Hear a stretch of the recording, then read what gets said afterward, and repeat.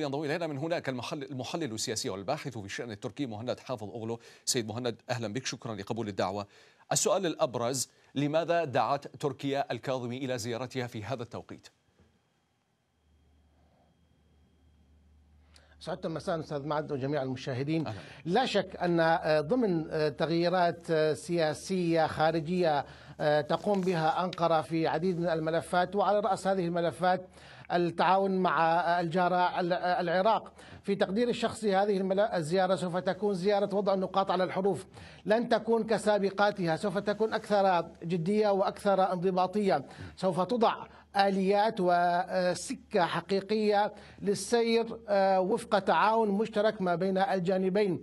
الآن الإرهاب يضرب في كلا الدولتين. حزب العمال الكردستاني يؤرق كلا الحكومتين. ولا بد من تقريب وجهات النظر وإيجاد آليات حقيقية للتعامل مع هذه المسألة بجدية عالية. يعني الآن الضرب حزب العمال الكردستاني لم يكتفي فقط في الداخل التركي أو في شمال العراق. الآن وصل حتى إلى القوات طيب. البشمركة الأمر يتطور مع حزب العمال الكردستاني وهذا ما طرحته تركيا سابقا أن الأمر سوف يتفاقم. واضح. طيب سيد مهند يعني دائما ما الحكومة العراقية كانت تمتعض من عمليات القصف تستنكر عمليات القصف؟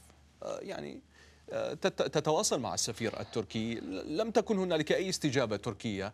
اليوم وزير الخارجية العراقي فؤاد حسين من تركيا يقول لا نقبل باستهداف دول الجور طبعا هذا أمر طبيعي. لكن لم يتطرق إلى موضوع القصف التركي المتواصل. هل هي موافقة جديدة حسب ما ذكرت مراسلتنا؟ موافقة جديدة وجدية أنه حتى العراق سيشارك في العمليات. في قراءتي للموضوع أن هذا الأمر متروك غدا للسيد الكاظمي.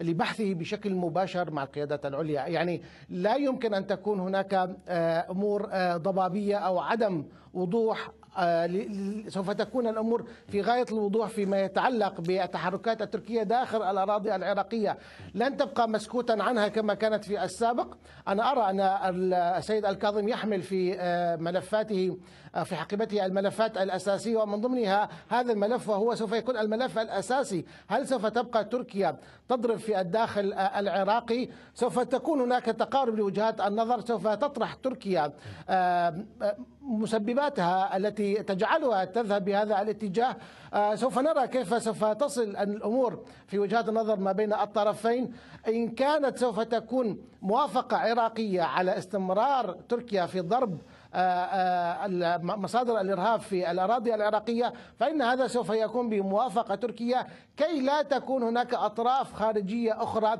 تؤرق العلاقات طيب. بين الدولتين وتنفخ الكير فيما بينهما طيب. نعم. يعني لطالما نتحول إلى موضوع آخر لطالما ما كان ساد إليسو في تركيا وموضوع المياه مياه نهري دجلة والفرات كان يعني يؤرق العراقيين كثيرا. هل تعتقد أن تركيا جادة في سلامات هل تعتقد أن تركيا جادة في حسم هذا الموضوع مع العراق خلال هذه الزيارة؟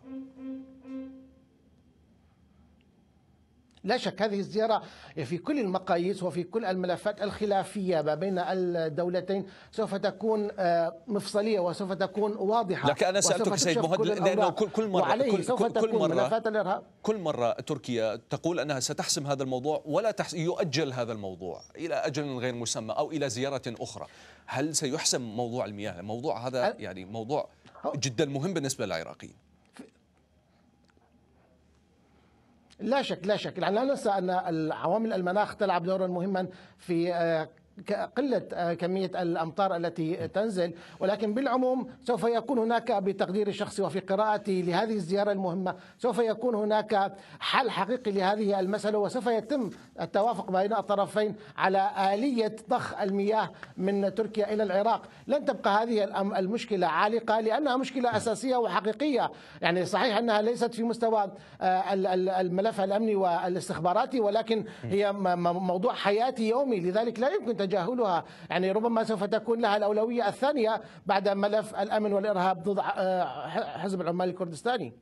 شكرا جزيلا مهند حافظ أغلو الباحث في الشأن التركي. كنت معنا مباشرة من إسطنبول.